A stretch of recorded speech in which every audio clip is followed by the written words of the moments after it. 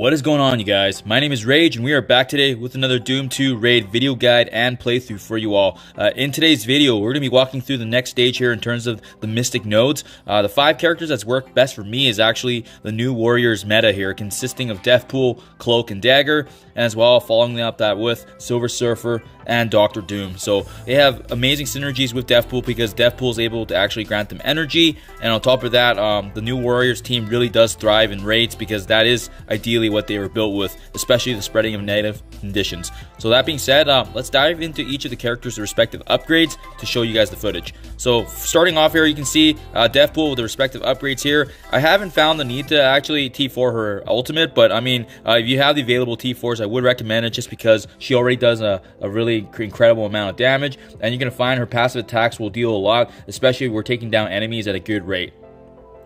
Next, we got Silver Surfer here. We didn't hesitate here to upgrade him as much as we can. As you can see, T4s in all of his abilities. Next, we got Dagger here. Uh, a little bit lower in the yellow stars just because I haven't had a chance to push her out and her shards are limited. But you can see the T4s were pretty massive on her as well. Special, ultimate, as well as her passive.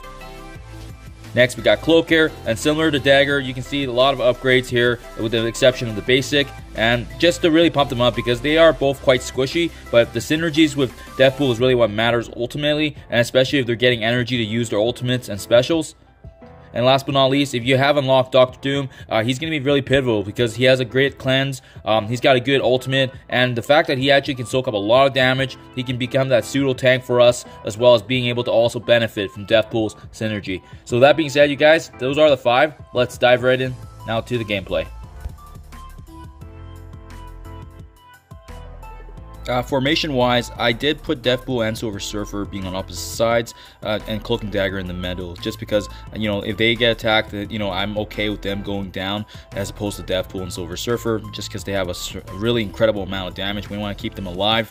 And Cloak and Dagger really is there for support, using their ultimates to blind and, and strip as well as uh, put negative conditions on all our enemies here. So starting off, this is very important. Silver Surfer's speed is pivotal here. By ability blocking Bishop, we're actually going to be able to synergize Deathpool's special there to spread the ability block there, as you can see. And next, you should have actually Cloak's ability here to activate the ultimate and just putting a boatload of negative conditions on all of them, and that includes blind, which is going to really save us. So uh, initially in this wave, I do recommend actually taking down the right side first before Kestrel. So that is exactly why I'm focusing on Bishop and Beast first. Just keep in mind, because Beast has that cleanse, uh, do want to take him down, right? But um, in this moment where you have um, Doom special here, I did want to stack his Striker, so that's why we use that right there, finishing off uh, the entire right side, and as well stacking some attacks on Kestrel as well.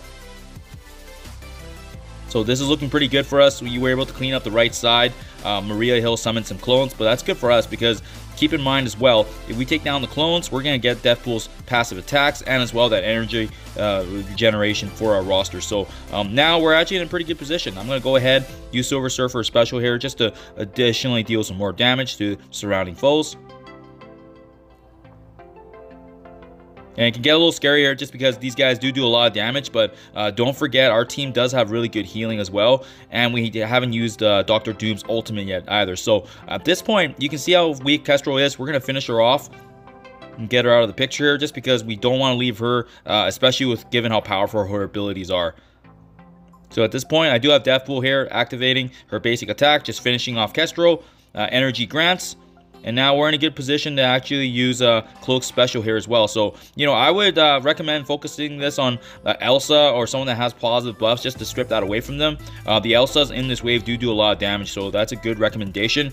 And now we have Dagger's Ultimate once again here, activating here. And you can see with the blinds, it's going to save us a little bit and putting those troopers in a really beautiful position because the moment that Deathpool starts attacking, uh, she's going to take them down and then that's going to give us more energy once again.